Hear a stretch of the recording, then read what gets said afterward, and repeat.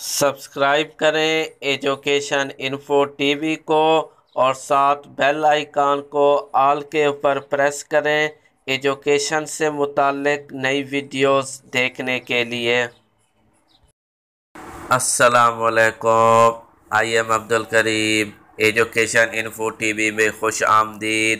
Education کے حوالے سے اب تک کی جو لیٹسٹ انفارمیشن ہے وہ میں آپ لوگوں کے ساتھ شیئر کرنے جا رہا ہوں۔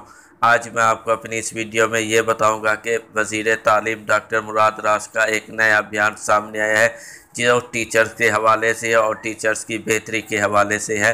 جس اس تو اس سے پہلے اگر آپ لوگ میرے چینل میں نیو ہیں تو میرے چینل کو سبسکرائب کر دیں اور ساتھ اس ویڈیو کو لائک بھی کر دیں۔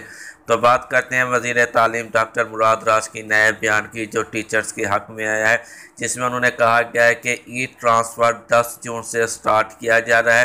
یہ بالکل ای ٹرانسفر سیم پچھلے سال کی طرح ہے، جس طرح پچھلے سال کسی بھی طرح کی کسی قسم کی کرپشن نہیں ہوئی۔ اس مرتبہ بھی اسی طرح میرٹ کی بنیاد پر ٹیچرز کا ٹرانسفر ہوگا، وہ بھی او میرٹ کی بنیاد پر۔ یہاں پر کسی بھی قسم کی کسی بھی طرح کی کوئی کرپشن نہیں ہوگی۔ وزیر تعلیم کا یہ بیان سامنے آئے۔ یہاں پر اب آپ لوگ خود بھی ان کا ٹویٹ چیک کر سکتے ہیں، جس میں واضح طور پر وہ کہہ رہے ہیں کہ دس جون دو ہزار بیس سے تمام طرح کے ٹرانسفر کو اوپن کر دیا جائے گا۔